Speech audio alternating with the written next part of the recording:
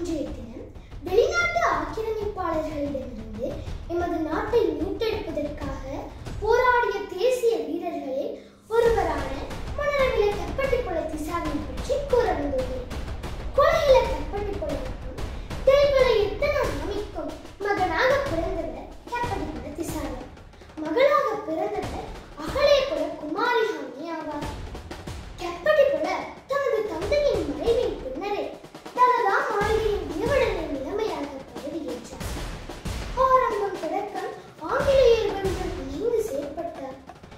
மூன்றாக மூவா வில்லசை கழகத்தை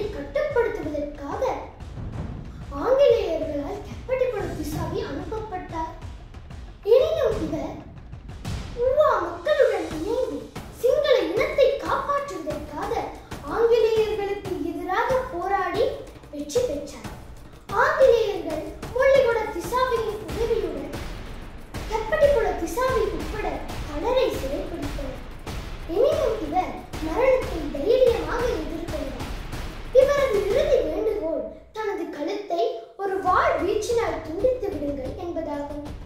இது அவரது வீரத்தையும் தைரியத்தையும் எடுத்து காட்டுகிறது நன்றி வணக்கம்.